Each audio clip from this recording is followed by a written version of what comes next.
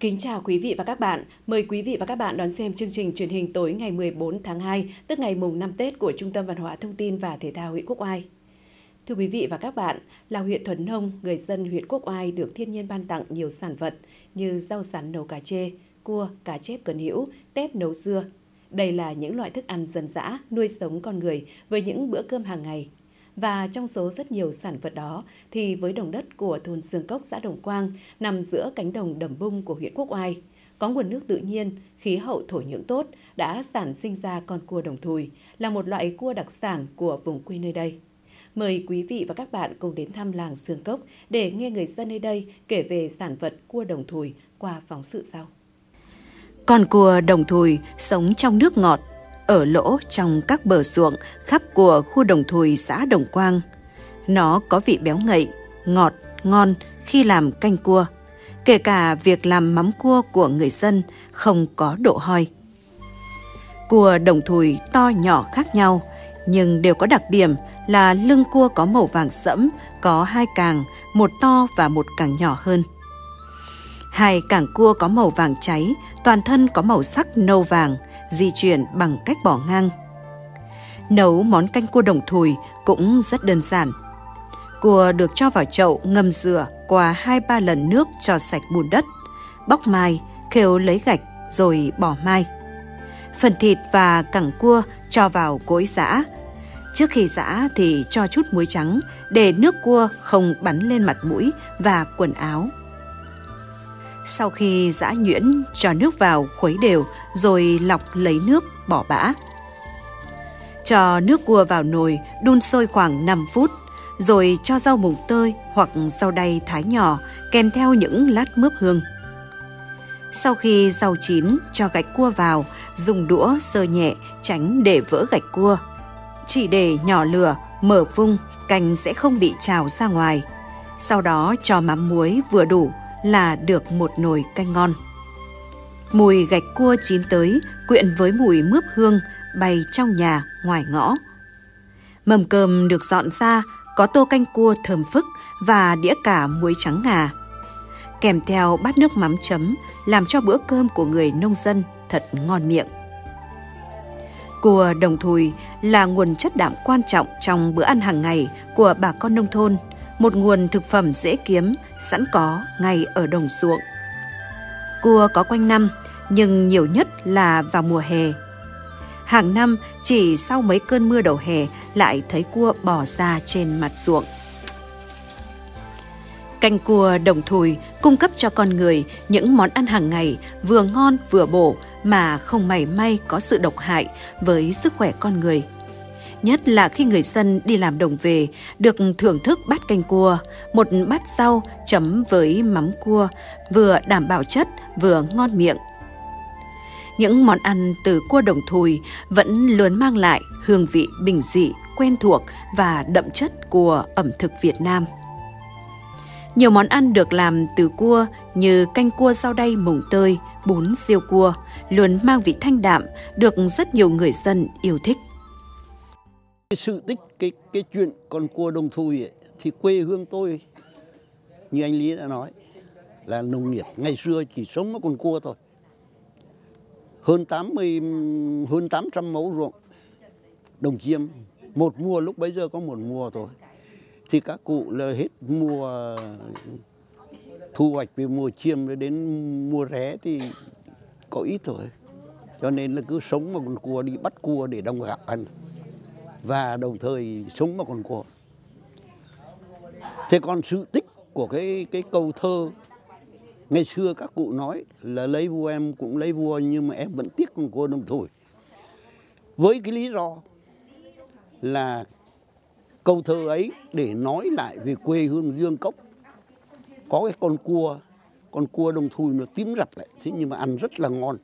Và các nơi vẫn cứ thích mua cái con cua đồng thui của dương cốc có thể nói, trong xã hội phát triển như hiện nay, có rất nhiều loại nước mắm ngon đặc sản thì người dân Quốc Oai và người dân Dương Cốc vẫn còn hoài niệm và nhớ về hương vị món mắm cua đồng thùi.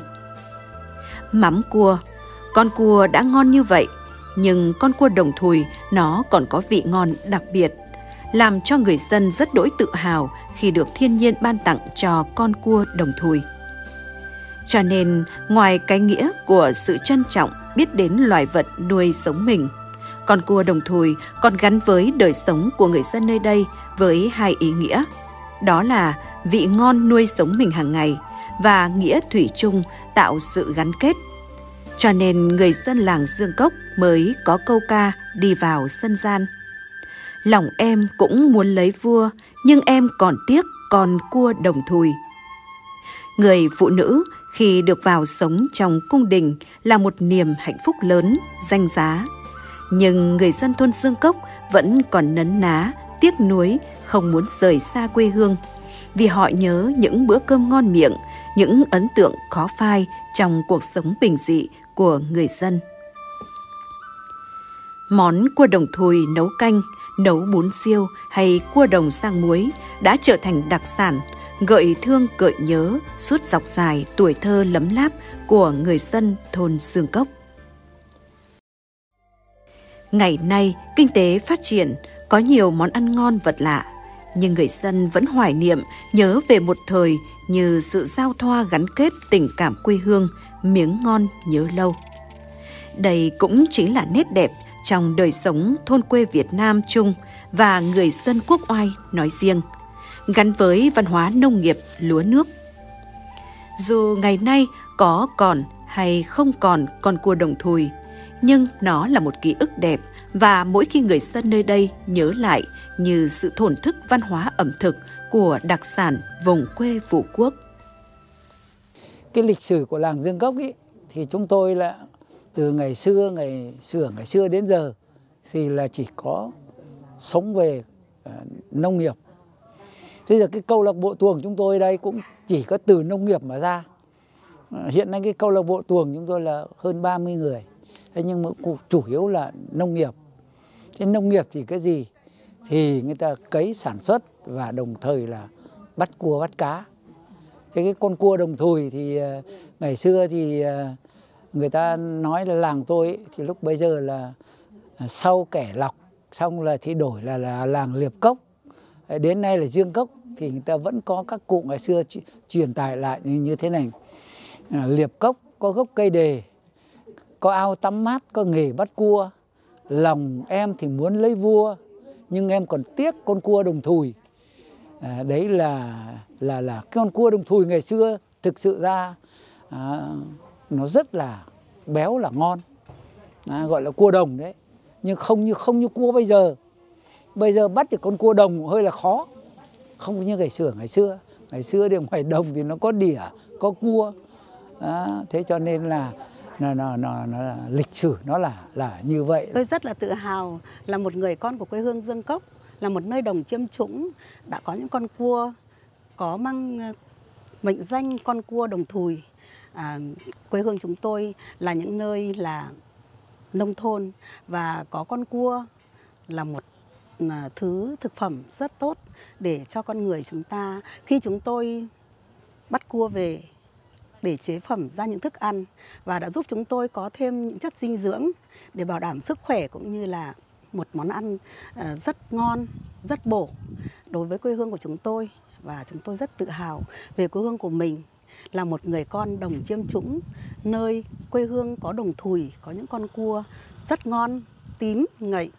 Và À, rất tự hào về quê hương một món ăn dân dã dễ kiếm của người nông dân mà giờ đây trở thành món ăn đặc sản dù còn hay không còn thì con cua đồng thùi luôn là ký ức đẹp gắn bó với tuổi thơ của bao thế hệ người dân thôn Dương Cốc, xã Đồng Quang, gắn bó với cuộc sống đơn giản của người nông dân Việt Nam.